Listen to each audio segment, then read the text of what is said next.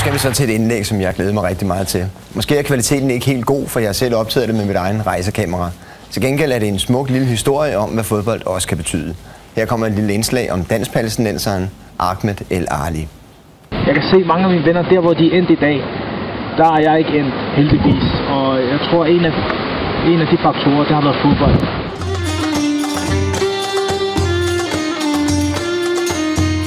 Ahmed bor i Kokkedal nu. Han er palæstinensisk flygtning i Danmark. Men det var her Ahmed blev født og vokset op. I Burd al-Barajat, en palæstinensisk flygtningelejr i hjertet af Beirut, hvor han flere gange om året besøger sin familie. Jeg husker en episode fra, da jeg var allerede tre år. Jeg havde en, øh, en faster, der... Det begyndte at bombe, øh, bombardementerne begyndte, og så glemte hun... Øh, så tog hun fat i min søster, så løb min faster ellers med, med mig, eller med min søster, undskyld, ned i beskyttelseskælder og havde lidt glemt mig.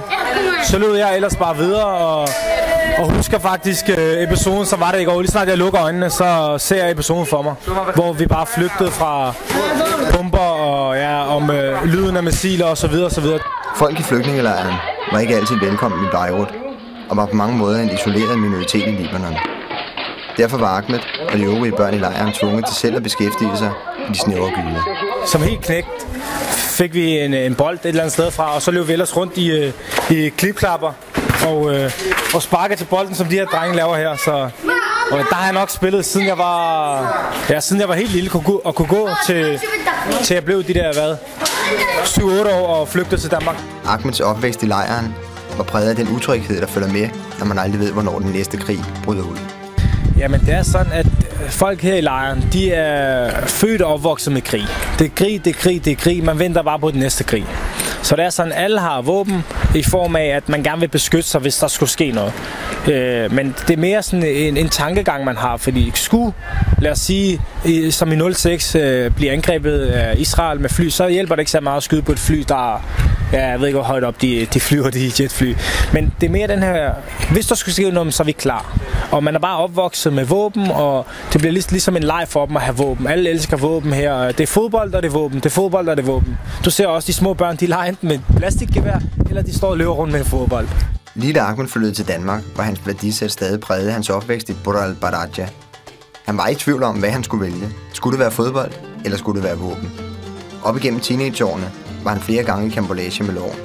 Våbenbesiddelse, røveri og overfald prægede Ahmeds liv i de år, og han prøvede både at sidde i isolation i en sikret institution og stiftede samtidig bekendtskab med fængselsmiljøet indenfra.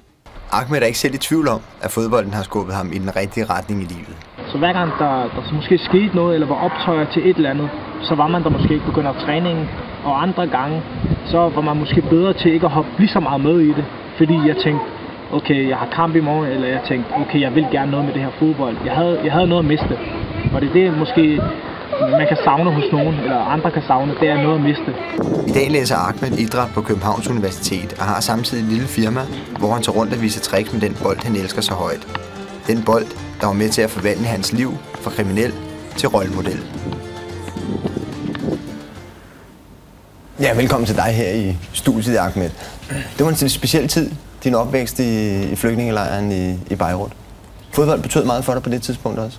Ja, det gjorde det. Øh, man, havde, øh, man, man havde hørt om, om fodbold og professionel fodbold, og det var lidt et, et håb, ligesom det stadig er et håb for de her drenge dernede, at måske spiller jeg godt, og måske er der en eller anden, der ser mig, og så kan det være, at jeg kommer videre. Så det, er, det er håbet for at komme videre, at blive berømt. Øh, de elsker at se fodbold, de elsker de her små øh, gode historier om øh, fodboldspillere. Men der er jo ikke fodboldklubber som sådan, vel? Det er jo ikke ligesom vi kender det, så starter man med at gå i Lyngby, eller man starter i AGF, eller Brabrand, eller hvad det nu engang hedder. Der er jo ikke rigtige klubber dernede, vel? Overhovedet ikke, overhovedet ikke. Det er sådan, at folk, øh, som vi så i indslaget, de, de spiller på gaden, øh, og så er der, kan der være en forældre, eller en eller anden ældre, som øh, siger, prøv her dreng, lad os lave et hold, og så spiller vi mod en anden flygtningelejr, som så laver et hold. Så det er meget sådan på løs basis. Der er ikke rigtig klubber, nej. Men kærligheden til fodbold er det samme. Du fortalte en historie dernede om, hvad der egentlig skete under VM bare i den flygtningelejr, som du kommer fra. Ja, lidt sjov historie. Kærligheden til fodbold dernede, den er jo, den er jo enorm. Altså, de er alle sammen palæstinenser, de elsker deres land, men når der er der er VM, så øh, ved hvert øh, de her, jeg ved ikke, om man kalder dem huse eller lejligheder, så har man så hejst et flag med det hold, man holder med. Og når man sidder og ser fodbold dernede, så er det ikke helt det samme som her. Her sidder man måske med et glas vand, noget chips, noget cola. Derover der sidder du klar med med gevær, ikke? Fordi så snart de scorer, så får man så lov at skyde lidt. Nu er det trappet lidt ned, det med våbnet dernede, men øh, ja, de skyder bare for, for glædens skyld, ja. Stig, du har spillet med vanvittigt mange fodboldspillere. Det har du gennem årene, en lang karriere, alle mulige forskellige klubber. Har du nogensinde spillet med en palæstinenser? Jeg har spillet med Vasim Albana i OB. Øh, men jeg, jeg ved ikke, om han har været i flygtningelejr og så videre, men jeg synes jo, det er, jo, det er en dejlig udsendelse, du får lavet. Du er god til sådan nogle ting, der ikke nu skal vi passe på mig ikke være for selvfed her, men, men, du er god til sådan noget der, for du godt kan lide at engagere dig, og du godt kan lide at høre menneskers historie. Øh, så jeg synes, det er meget interessant, og jeg synes også, at, at det viser her også, hvad fodbolden egentlig kan betyde, og hvad fodbolden betyder for folk. Der er mange, der siger, at det er bare 11 mand, øh, to gange 11 mand, der løber rundt efter ja. en bold, men, men det her, folk, der render rundt i sådan en flygtningelejr, at de kan lige abstrahere lidt fra, fra den der triste hverdag, der er. Og så, øh, når bolden den ruller, jamen, så tænker man på noget helt andet. Og så vil jeg sige, med hensyn til det der med at skyde i gevær, der, så vil jeg da håbe, at, at man øh, ikke bor på første sal, og ham næste uge, han skyer af. Så. Nej, men du, du, du, at du har fortalt nogle sindssyge historier, også om din, din far. Han lå og sov på taget. Nå ja, men der er noget. Men lige til den der, det er, at man sidder op på tagene. Så Erik var der noget, og man sidder op på taget, og så har man fået et fjernsyn, og så sidder der i hvert fald de der 50-100 mennesker og prøver at se på det samme fjernsyn. Ikke? Øh, så man skyder op i luften. Okay. skyder ikke op, op i loftet. og jeg tænkte jo på, fordi vi havde jo en lille snak om, det kunne være sjovt at prøve på lige at skyde lidt op og sådan noget. Ja. Og jeg tænkte på, om den der kugle må falde ned.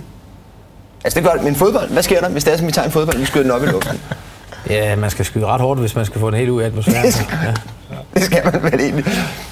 Dit eget liv nu, Ahmed, ja. det, det former sig rigtig, rigtig godt. Men fodbold, det fylder stadigvæk noget. Du har dit egen firma. Jo.